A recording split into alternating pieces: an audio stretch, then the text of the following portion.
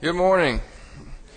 Welcome to Maysville this morning. If you want to open up song number 236, that'll be our opening song.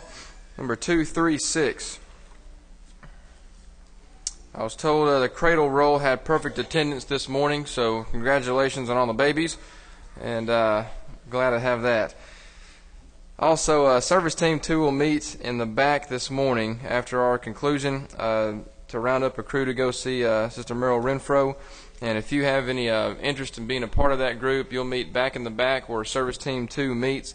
And uh, that's not just um, for Service Team 2. Anybody who has interest in doing that, uh, you can see uh, Brother Fairchild in the back of Service Team 2.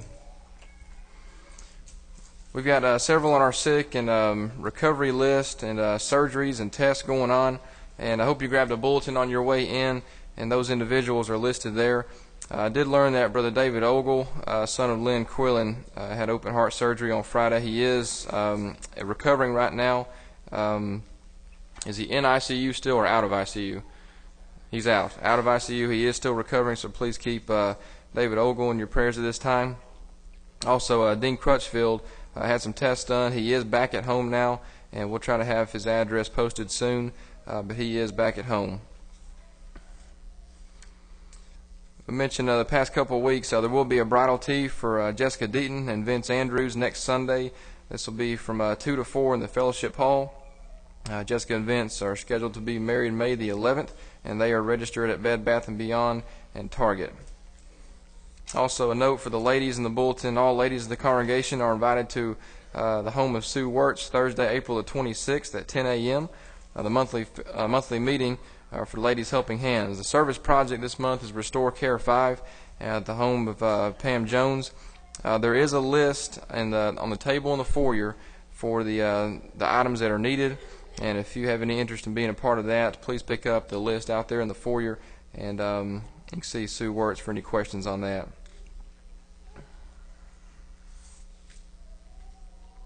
There's also several notes in the bulletin as well about upcoming gospel meetings and uh, um, uh, occasions coming up here. I know we've got our gospel meeting coming up from May the 6th to the 9th. Uh, Brother Jim Dearman will be our speaker, and uh, there's several notes to be made in the bulletin, so please grab one of those if you haven't, and uh, several things going on around us that we can uh, be a part of. Also, our uh, our Honduras contributions have, have come to a little bit of a, a halt, and uh, we are still gladly accepting any contributions for our housing projects. Uh, if you'd like to contribute to the housing needs, uh, please see me or Beth or uh, Butch or Patty Weaver, and we'll gladly accept any donations. Also, if you have any questions on what items we may need as far as uh, medical supplies or clothing uh, for the people there that we'll take with us, uh, please let us know. We'll try to answer those questions for you. I believe that's all the announcements I have this morning. Again, opening song number 236. We'll have our closing prayer by Brother Vernon Perriman. And uh, right now, let's join together. Mike Broad will have our opening prayers. as we begin.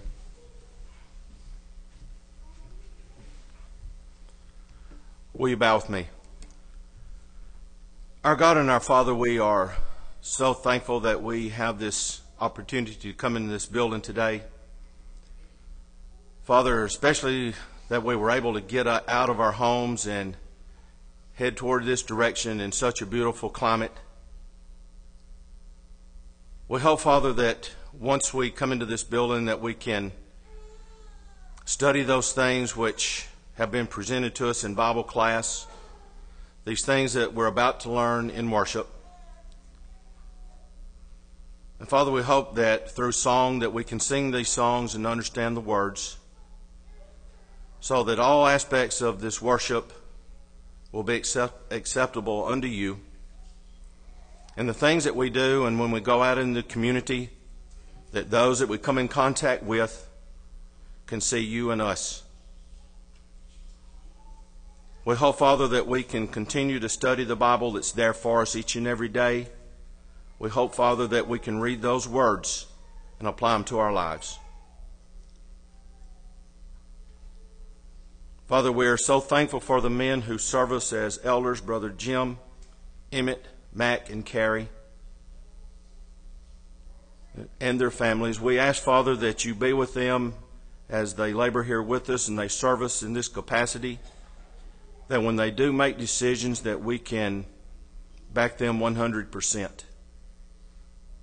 And at times, Father, just tell them how much we appreciate them and that we do care for them and we do love them. We're thankful for our two ministers, Brother Tim and Brother Lonnie, and their families, for the time that they've been here with us, for the many years of service and the years of service to come. We ask, Father, that they will continue to study the Word and that they can present it to us in such an easy fashion where we can learn more about you. We're thankful for our Bible teachers, for those that take time out of their busy lives to study the Word and go into the classroom and study with the students. And we're mindful of every member here at this congregation, and we ask that you be with us as we strive to be unified, as we try to study thy word.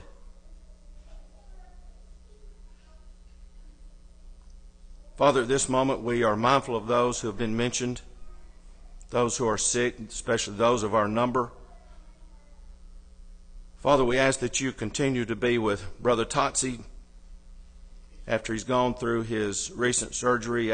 We ask, Father, that you will be with him as he recuperates and he gets stronger and get back up on his feet once again and hopefully we can start visiting him once more.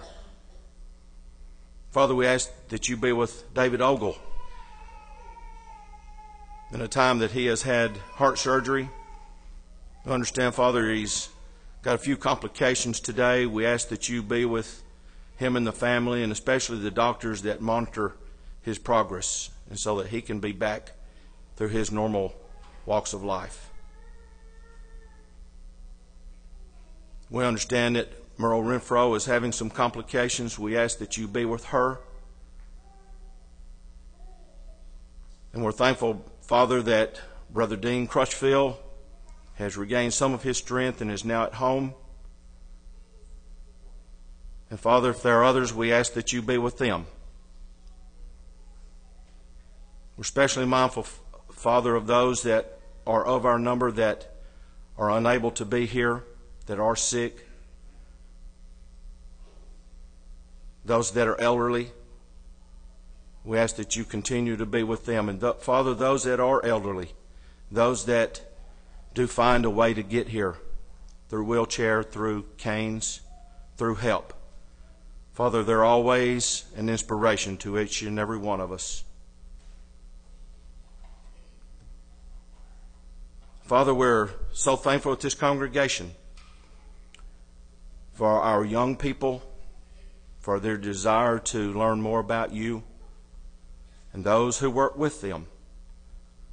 We ask that you will be with them each and every day because we do realize that there are those out there that's trying to pull them into the world of sin. And we ask that we can study with them, talk to them whenever is necessary.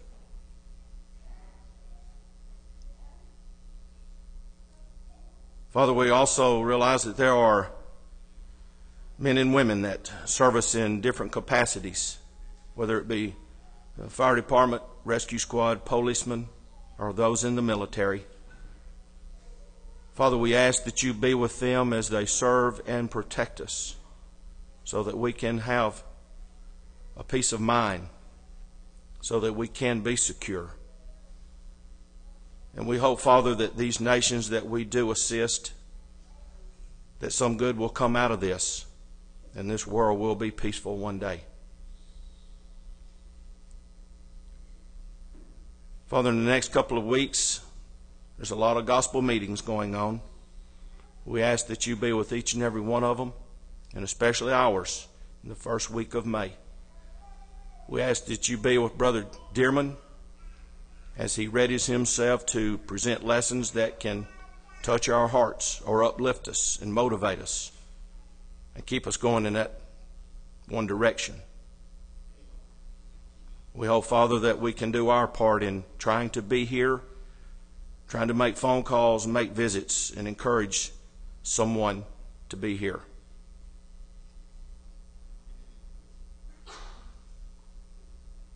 Father, once again, we are so thankful for the country that we live in. We hope, Father, that we continue to assemble in buildings like this without fear. And Father, we're thankful for each and every one that has come here today. May we all be uplifted. And these things we ask in Christ's name. Amen.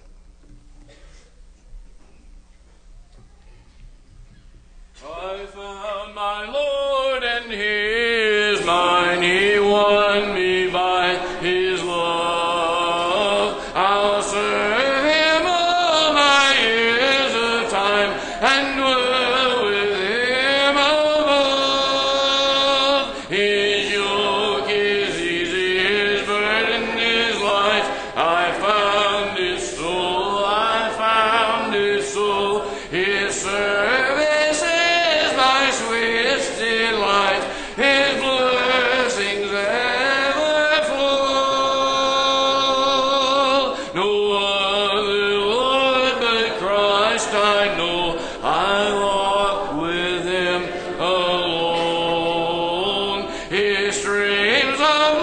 Oh.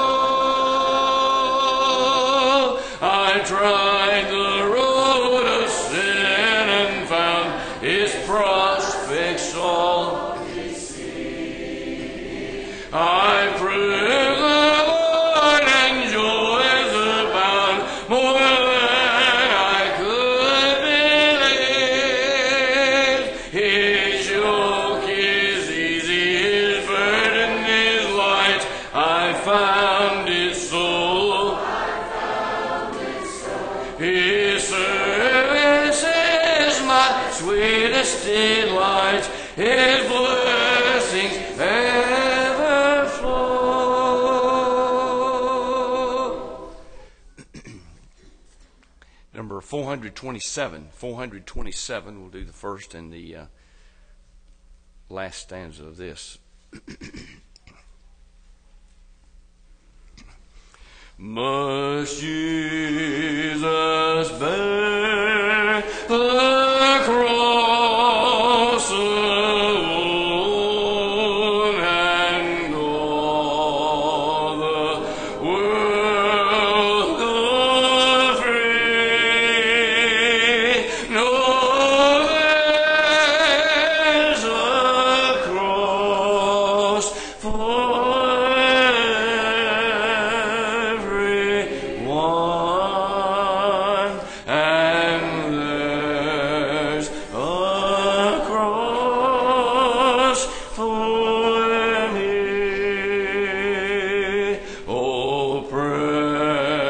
precious cross,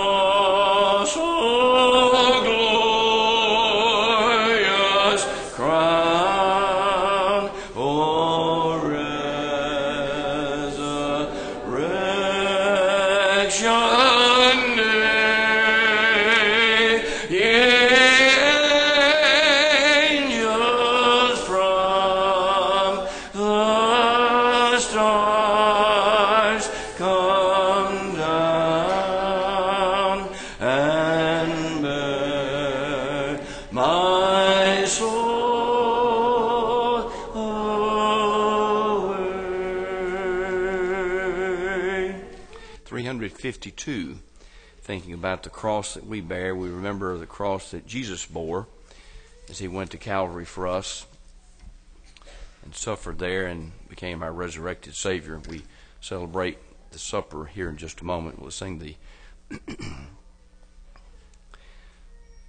second and third stanzas. The blessed Son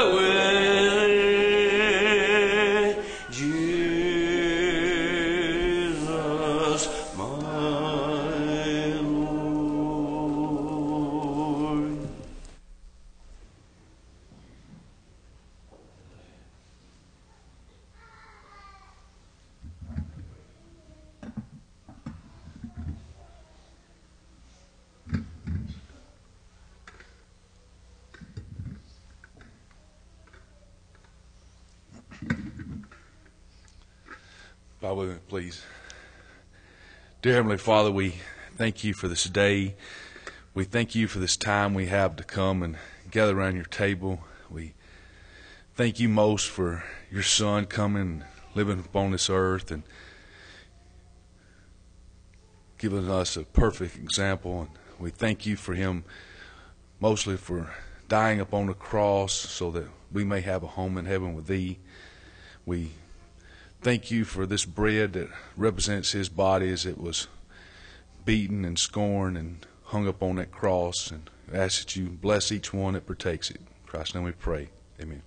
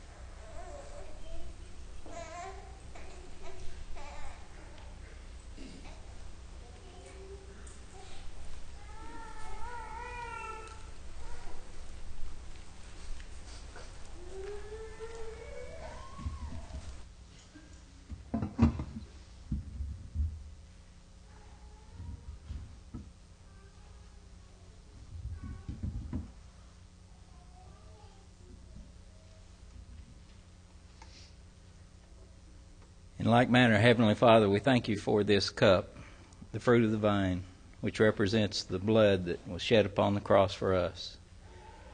Help us, Father, as we look back to that sacrifice to realize that no one took his life, but he freely gave his life in our place. And he gave up his lifeblood. We know, Father, that this great act of love upon your part and upon his part was done for us.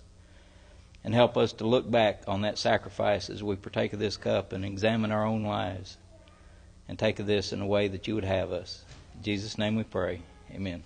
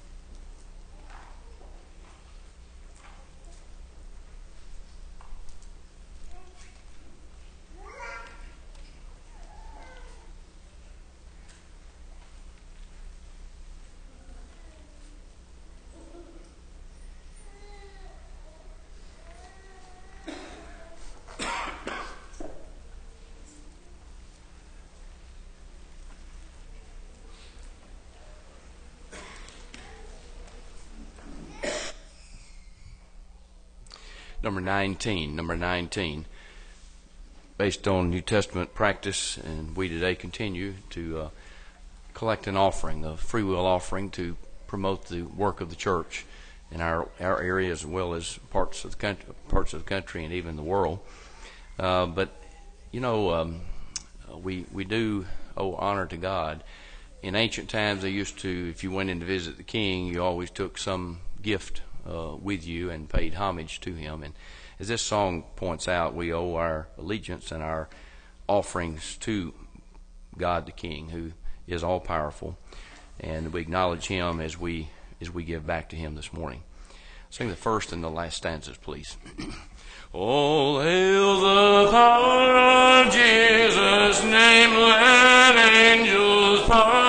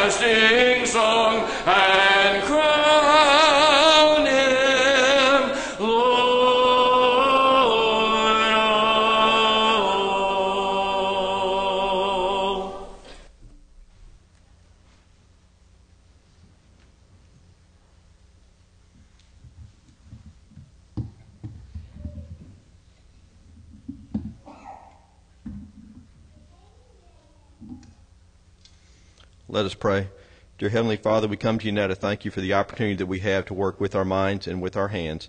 May we take this opportunity to give back what is rightfully thine and do so as cheerily as we partake. We ask these things in Christ's name. Amen.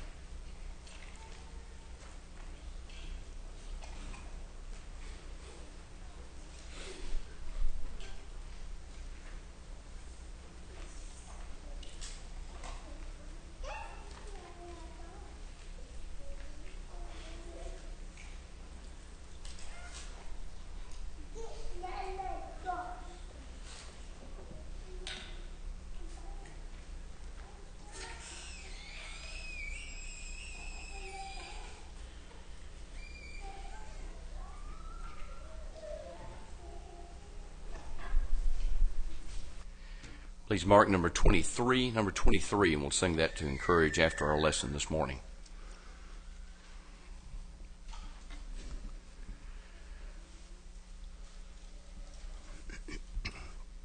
And now number 312. Number 312. We'll do the first and the last stanza of this. If you'd like to, please stand and we'll sing it together. They tried my Lord and Master with no one to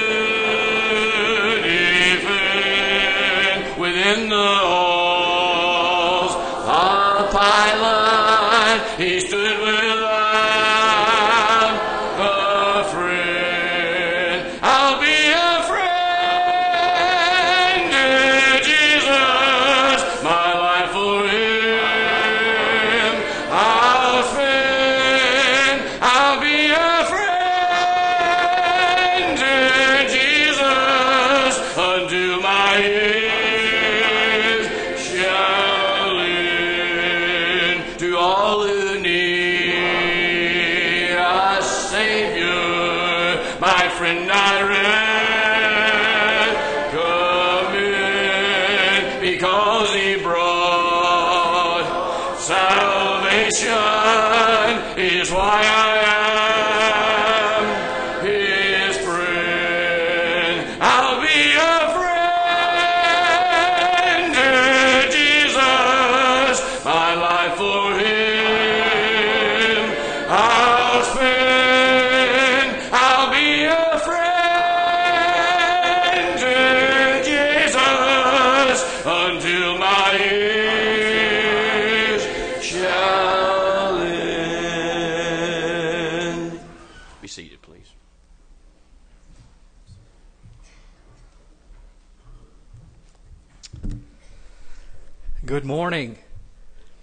It is very good for me to be able to look out on the audience and be able to look upon your faces. It has been a couple of weeks since uh, I have had this privilege, and I am very thankful that um, you are here, that I am here, and that we have the opportunity to look upon one another. It seems like sometimes that uh, time goes by very quickly, other times it goes by slowly. Uh, but when you're out of pocket for a couple of weeks, like we have been for the last couple, it seemed like it's been a long time since I've been with you. So it's good to be back and uh, glad to have the opportunity to see each of you.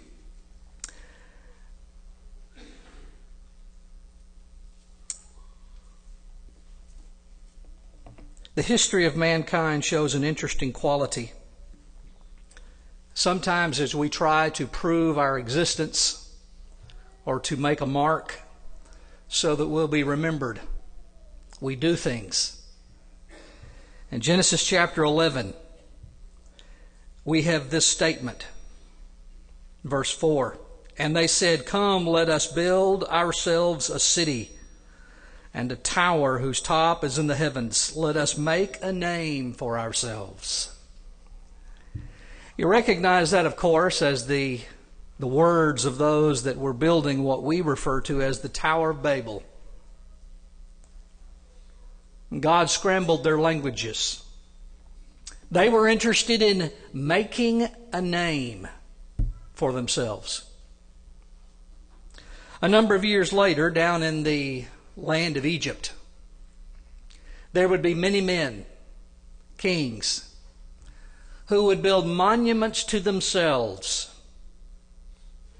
which in and of itself is rather an interesting thought. Long before they died, they began building pyramids in which their bodies would be buried. And they wanted to be remembered for always. And we have those, those remnants, those impossible to imagine structures. If you've been to Egypt, seeing pictures is sometimes not capable of really bringing the scale of these objects. But when you go and stand by one of the pyramids and you see the size of those individual blocks, and then you see how many of them are laid across in a line, and you know that that extends also backwards deep, and then across the back, and then building up from there in that pyramid shape, that classic triangle. Huge structures. Just to say, I was here, and I was capable of doing this. And I want you to remember. Herod the Great was one of those kinds of builders who wanted very much to make his mark on the world. He grew up perhaps with a little bit of a chip on his shoulder. His father had worked very hard to get him in the position that he was, worked the political ropes with Rome so that Herod would be proclaimed the, the absolute ruler of uh, the land of Palestine. And so for many years he served in this capacity. But Herod was a hard man. He was a man who wanted power. He was a man who was afraid of losing power. He was a man who wanted to honor himself, and so he built monuments all over the countryside. Some of them are gone now, some still remain. One of the interesting monuments he built was right on the, the rocks on the seashore. He built a palace outside of the city of Caesarea on the Mediterranean Sea, where the water would come up and kiss right against that palace. Of course, it's all gone. The storms many, many, many years ago that rage on the Mediterranean Sea completely obliterated all traces of Herod's palace on the sea, with the exception of the, of the grooves in the stones where the foundation rocks themselves were laid into that bedrock. There are some other demonstrations of Herod's power that are a little easier to find. We can see them because they still remain. Two of the most dramatic. One is on the what we refer to as the mountain of Masada, which is a little raised plateau just off the Dead Sea.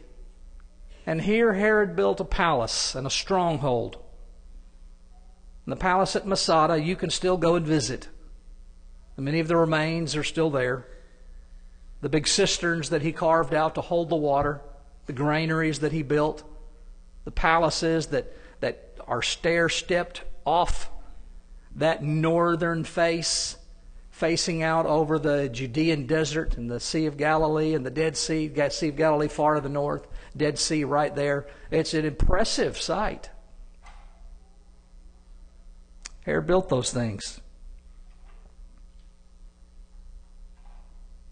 Yet he died. The second very observable creation of Herod is the, the Temple Mount. If you've seen the Dome of the Rock, the Islamic holy place that is now built on the site where the Temple of Solomon once stood.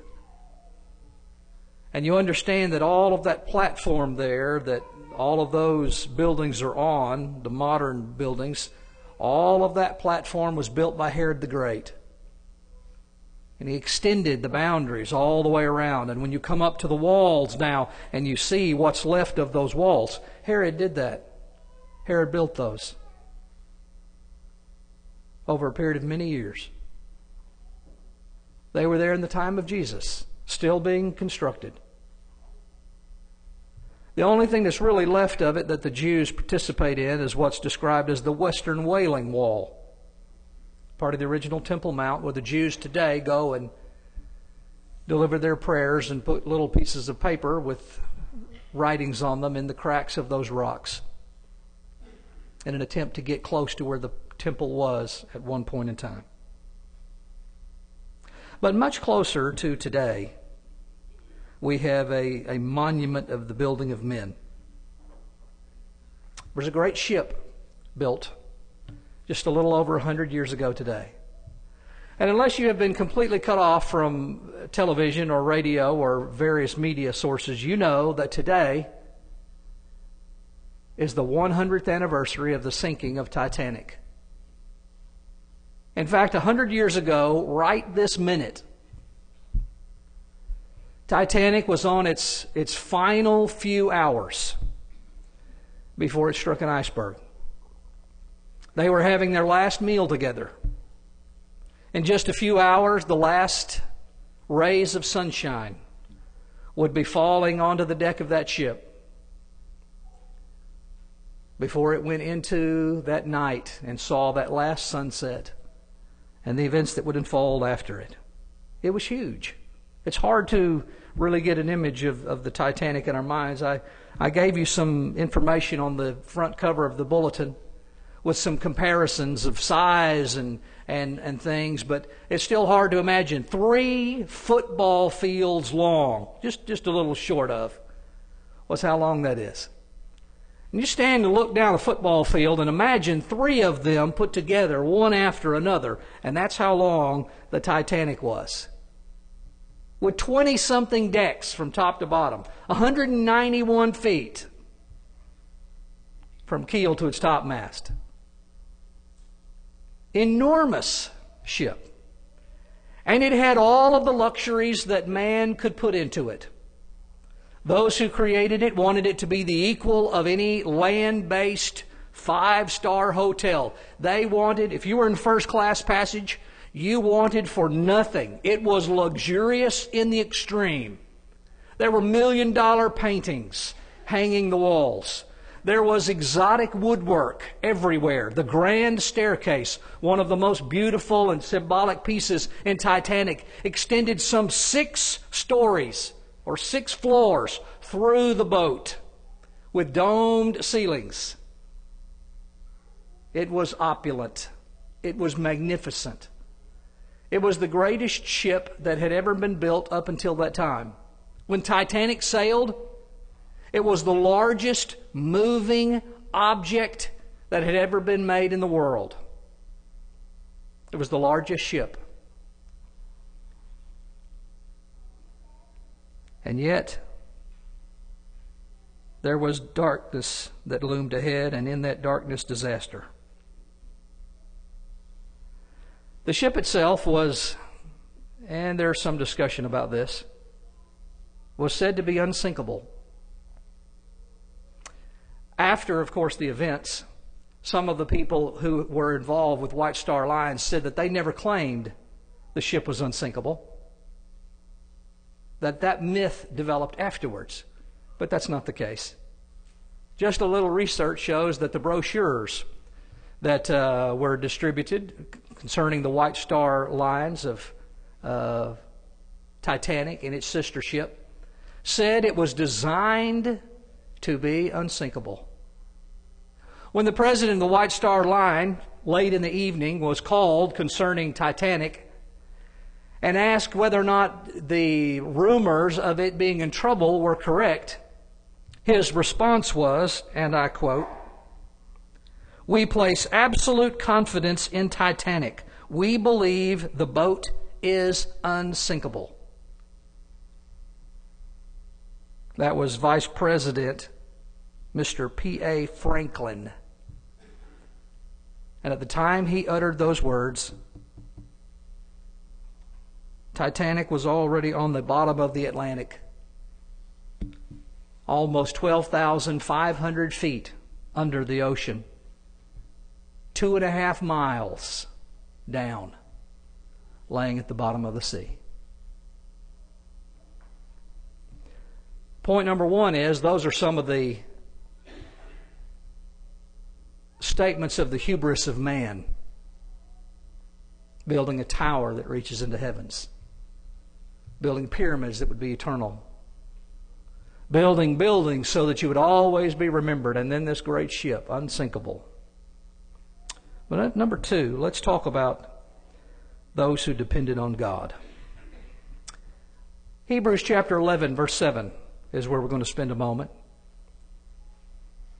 And I want to read this text to you.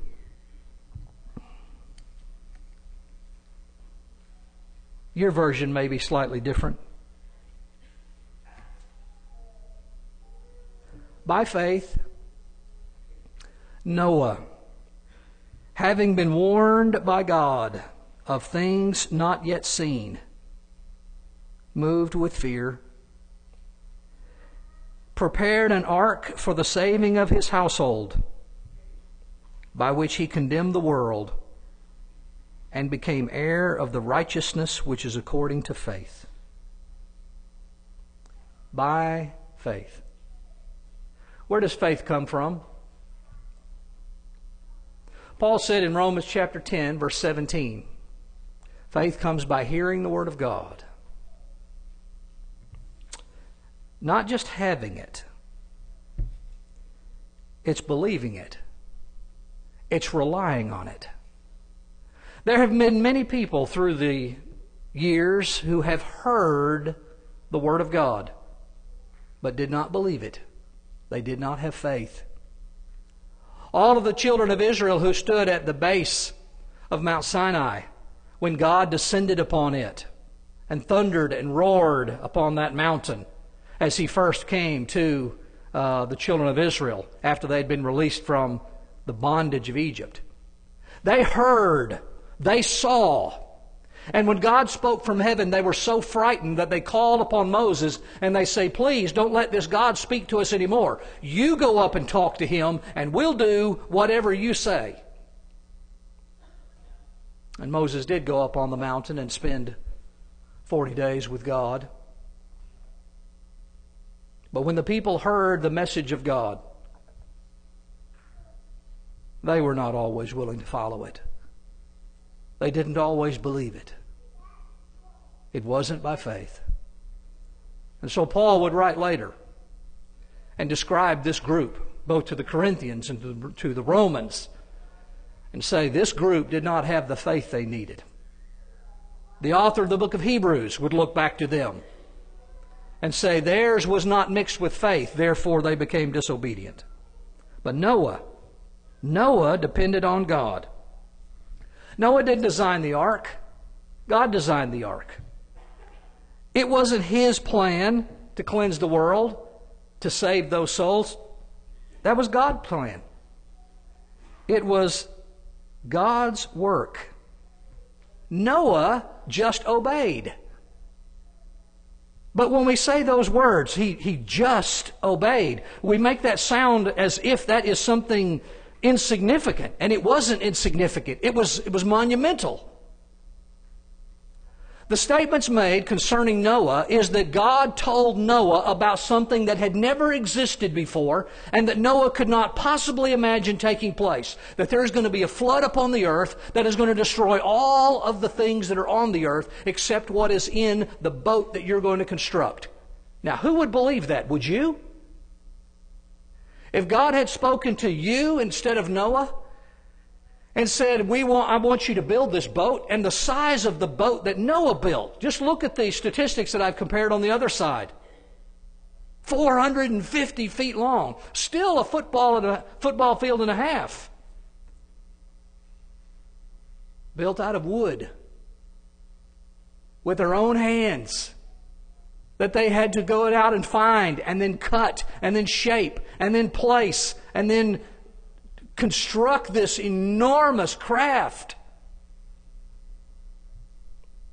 So when we say that Noah just obeyed by faith, those are incredible words. Obedience is doing sometimes what seems foolish because you're told to. Would you go with me and look at a couple of passages that have this concept in them? Let's start in Luke chapter 5.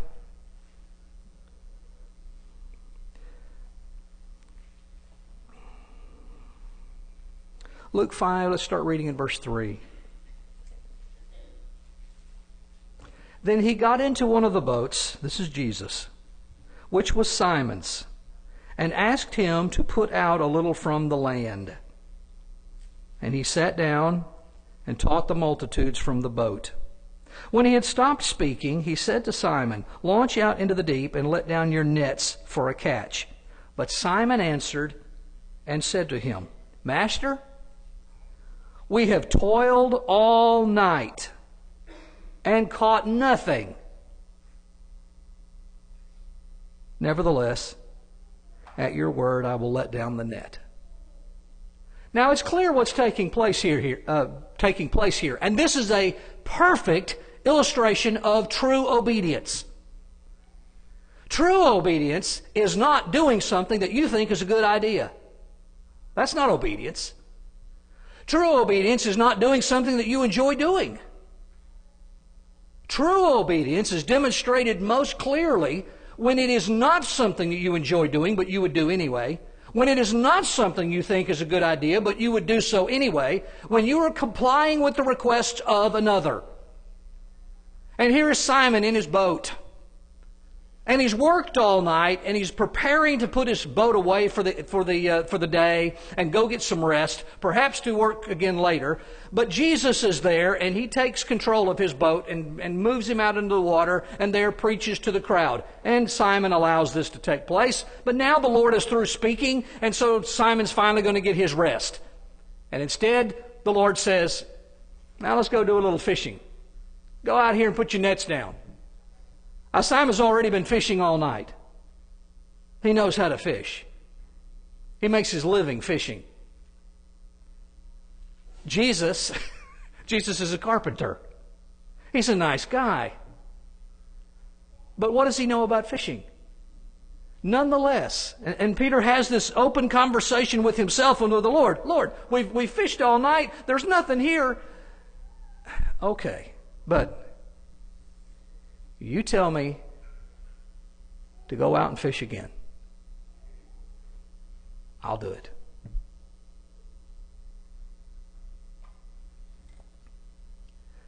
If I was going to describe a pattern for appropriate obedience on the part of children toward their parents, I might look to Luke chapter 5 as a good example. Because children may often find themselves, as teenagers especially, in a place where their own ideas are, are coming along and when they are very intelligent, having all of the intelligence that they will in, uh, in adult life. Not all the experience yet, and still under the, the oversight of their parents. And they might find themselves from time to time being asked or being required by their parents to do things that they find foolish or restrictive or in some other way not meeting what they think is appropriate uh, for them and their, their age and their maturity. And yet, as a parent instructs them there, what a better sign of obedience than to say, Mom, Dad, I don't know that this is a good idea. I think I have more responsibility than that, or I'm, I'm more capable than this. Nevertheless, because you have told me to, I will comply. It's obedience. Let's look at another.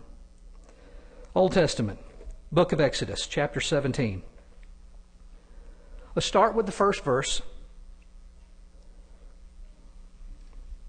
Then all the congregation of the children of Israel set out on their journey from the wilderness of sin. Actually, that should be pronounced seen. According to the commandment of the Lord, encamped in Rephidim. There was no water for the people to drink.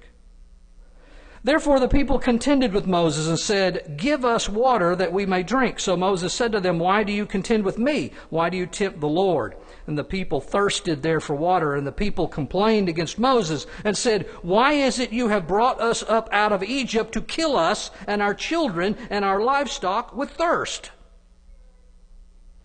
Chapter 17, verse 4. So Moses cried out to the Lord, saying, What shall I do with these people? They are almost ready to stone me. And the Lord said to Moses, Go on before the people, and take with you some of the elders of Israel. Also take in your hand your rod with which you struck the river, and go. Behold, I will stand before you there on the rock in Horeb, and you shall strike the rock, and water will come out of it, that the people may drink. How would you like to be Moses here? The people are thirsting to death. They're, they're in rebellion. They're wanting Moses' head. They said, Here, you're the guy who led us out here, and you led us out here. Now we're, we're all going to die of thirst, and all of our animals are going to die. And so Moses turns to the Lord and said, Lord, they're about to rebel against me. What am I supposed to do about this? And God says, Tell you what, go out there in front of them and take a stick and I want you to hit a rock, and water's going to come out and, and uh, going to give everybody enough to drink. Huh? do what? You want me to do what? You want me to take a stick and go stand in front of a rock and hit the rock, and it's going to spout out water? Now, you see, we know the story. We know how the story ends. We know the water pours forth. So we don't even find it incredible at all. We just take it for granted. Yeah, Moses hit the rock and the water came out. Put yourself in Moses' shoes. What's plan B? Wouldn't you want to know that? Hey, Lord, what if the water doesn't come out? What if there's not enough? What do I do then? There's no plan B. The rest of that verse says, and Moses did so in the sight of the elders of Israel. That's obedience. That's faith. One more. Back to the book of Hebrews again, chapter 11, verse 8. We just read verse 7. By faith, Abraham obeyed when he was called to go out to the place which he would receive as an inheritance, and he went out, not knowing where he was going. By faith, he dwelt in the land of promise, as in a foreign country, dwelling in tents with Isaac and Jacob, the heirs with him of the same promise. For he waited for the city which has foundations, whose builder and maker is God. God had called Abraham to go out. Abraham, come and follow me. Abraham went. He led him to a land where he promised him he is going to have this as an inheritance. Your children will own all of this land, everywhere you set your foot. And yet, while Abraham walked upon this land, you know how he's living? He's living in a tent. He doesn't own any of it. And yet he stayed there. Why? Why did Abraham stay in that land when, although God had promised it to his, his all of his inheritance, his children who would come. Abraham got nothing. But he believed that God would keep the promise that he kept. That's those who depend on God. And then, number three, let's make some comparisons, if we can, for just a few minutes. The Titanic depended upon man. It was man's materials, man's design, man's purpose. The ark depended upon God. Noah didn't create the things that the ark was made out of, God did. Trees, wood, tar from the ground. And God said, Here's how you're going to build this ark. God made the design. Noah didn't come up with the design, God came up with the design. Noah didn't come up with the purpose. God came up with the purpose. And that purpose was to save humanity. God was going to bring about a destruction. A second contrast we could make Titanic ignored real and present dangers. Striking an iceberg is what sank Titanic. But there were a lot of things that led up to it prior to that time. The lookouts who were posted to watch out for icebergs didn't have binoculars. They were just standing looking with their own eyes. It was an extremely calm night. There was no waves. If there had been some waves, if there had been some sort of motion, it is suggested that perhaps those lookouts could have seen the, the waves lapping up on the icebergs sooner than they did, but they did not. It was a moonless, clear, still night. But they had had warnings. Other ships had passed through the area and they knew there were ice, there were icebergs, there were pieces that were floating in the area. Captain Smith did not slow down the boat, although he did make a course correction and went farther to the south where he believed he would be going around the ice, but he was mistaken. The day before, they were supposed to have run a lifeboat drill that might have saved many lives, but the captain believed that it was un- unrequired, unnecessary a waste of time, because after all, Titanic was unsinkable. There was hardly enough lifeboats available for half of the people who were on the ship. And many of the people who were involved in the designing of the ship believed that those lifeboats were a waste because the ship was unsinkable, after all. But they were wrong. In contrast to that, we have Noah, warned of God moved with fear, and prepared an ark.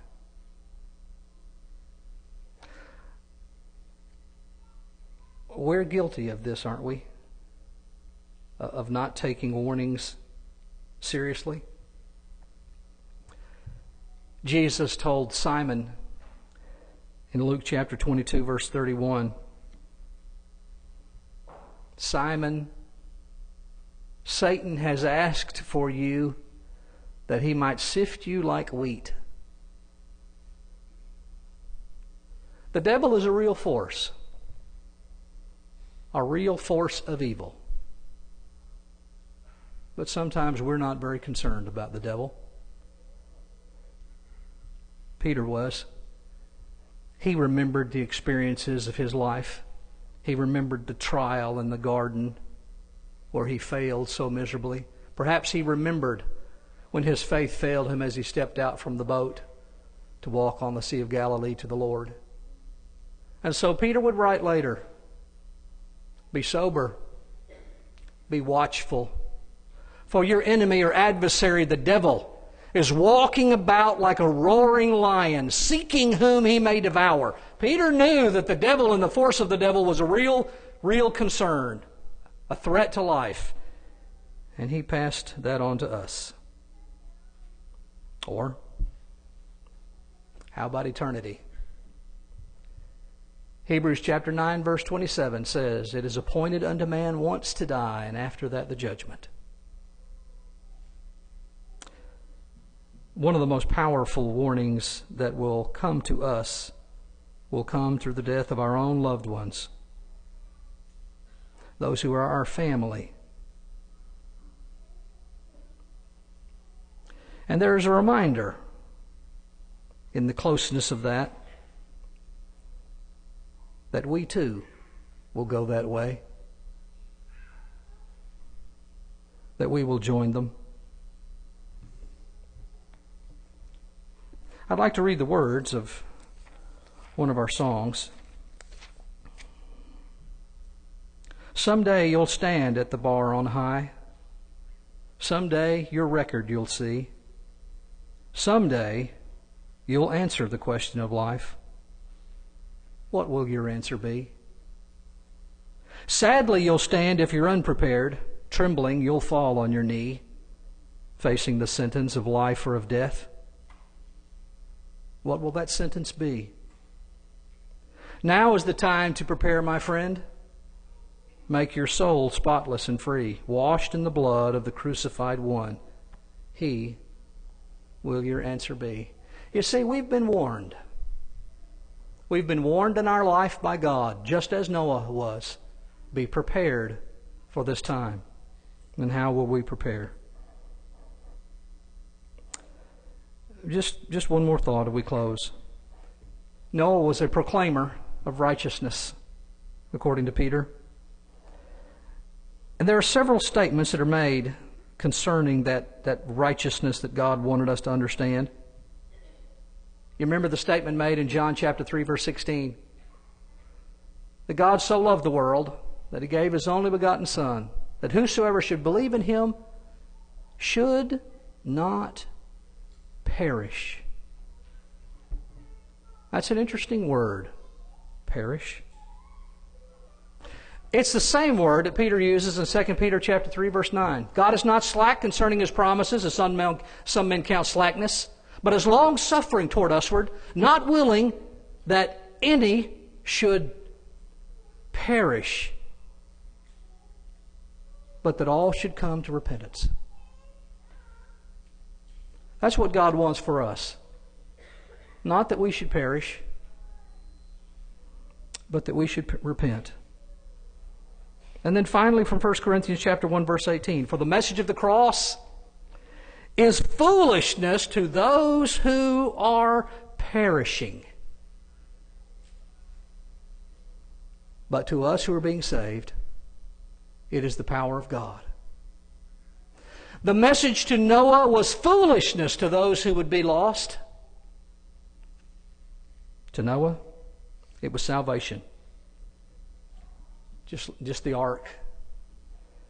And the church is so much like the ark.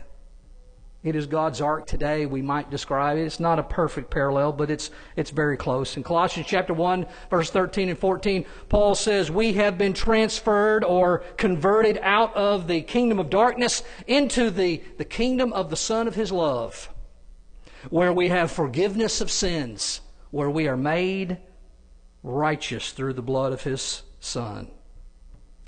In Acts chapter 2, verse 47, we're told that the Lord adds to the church those who are saved. And how is it that they became saved? Noah walked up those steps or that ramp up into the ark, and God closed that door, and there he found safety, security. And our steps lead us into the paths of righteousness when we hear the message of God proclaimed and we believe it to be true. John chapter 8, verse 24. And then we change our lives in repentance We give up those things that are immoral. Luke chapter 13, verse 3 and 5, we repent. And then, as Jesus described in Matthew chapter 10, those who make that confession with their mouth, Jesus will confess them before the Father who is in heaven. And those who will not confess, Jesus will not confess before the Father who is in heaven. And we make that confession. With the mouth, confession is made into salvation, Paul described in Romans chapter 10. And then that final step where we are buried with Christ in baptism, Colossians chapter 2, verse 12. That's what they were told in Acts chapter 2:38, repent and be baptized for the remission of sins. Galatians chapter 3:27, we are buried, baptized into Christ.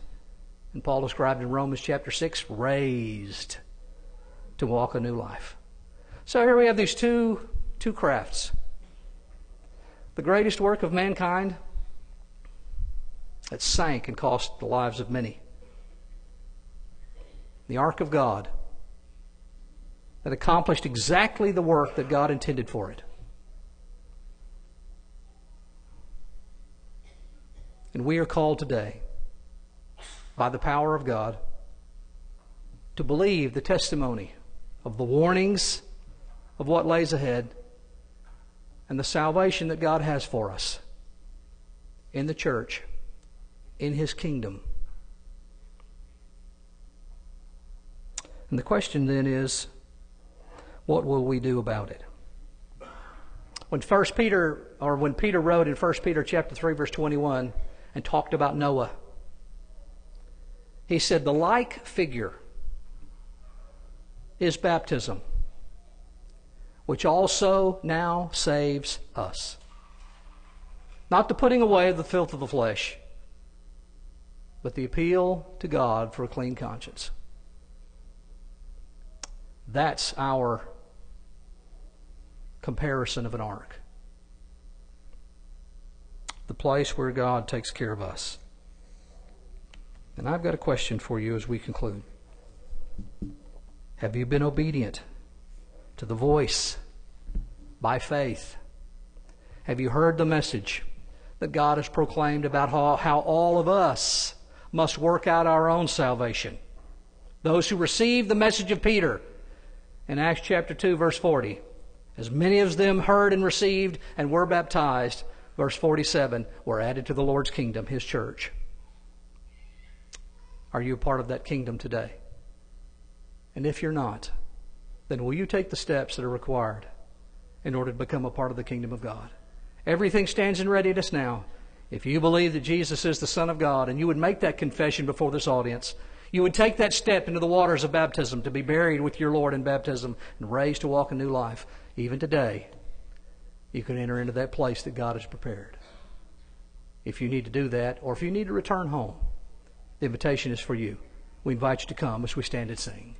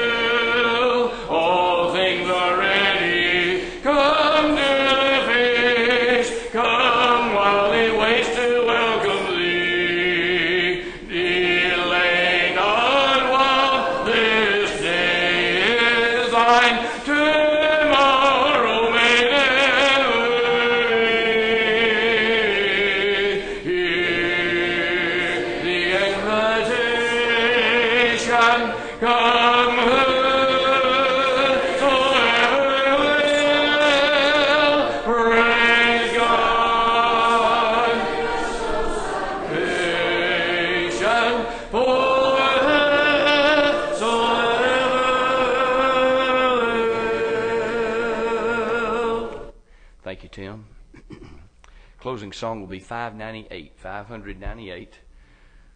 Do the first and third stanzas of this and uh, dismiss in prayer in a moment. We hope you'll be back tonight at 5 o'clock to worship with us again. And if we can serve you otherwise, let us know. Visiting, please come back again. let me mention this before I start. Um, next Sunday night, we'll probably do a lads wrap up for those that went to the convention or uh, family members, interested parties to see what the program's all about. So that'll be next Sunday night. Just wanted to post you on that.